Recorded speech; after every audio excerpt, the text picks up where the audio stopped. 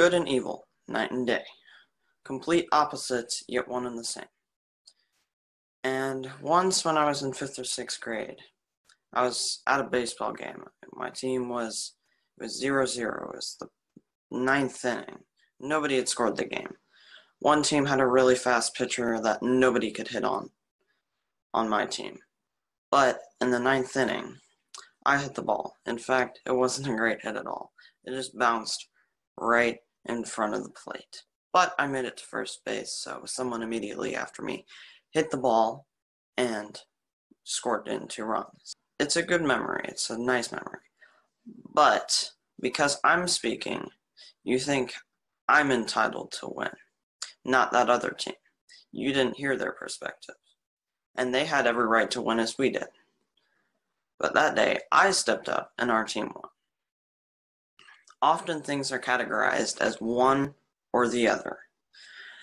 And people will often end up on one side or the other and believe in that side by default and that the other side is bad. It's very rare for people to see both sides and sympathize and empathize with both. This can be seen in the Hundred Years' War. When the war lasted so long just because they had been fighting, they literally forgot the reason what started the war. Wasting lives on some long forgotten reasons, but war was all they knew. So they went on, giving their opponents no advantage. And odds are this war continued because somebody you knew got killed fighting this war, and now you have a grudge against the country. Many people got killed, and eventually it took a while, but they finally made peace. And uh, the reason um, that they went on a hundred years wars because the King of England just wanted to become the King of France and gain more power. Now, I'm no expert, but by any means, one of the major reasons that people become so entrenched in their ideas is pride, honor, or whatever else you want to call it.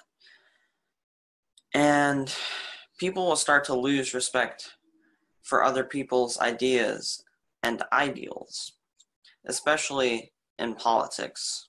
Society can't work without compromise, and these people in politics today have done it as little as possible. This is causing a divide where egos take over and people lose respect to with each other.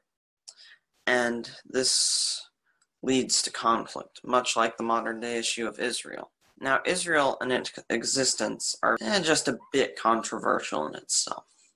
They're surrounded by majority Islamic nations who would rather have them not exist. The nation of Israel was created after World War II and the Holocaust, right off the bat. And in the 60s, 70s, and 80s, there were four wars with neighbors, and Israel won every single one. Obviously, they were fine with that, but they went, if you can't beat us, then we were put here to stay by God. So, stinks for you.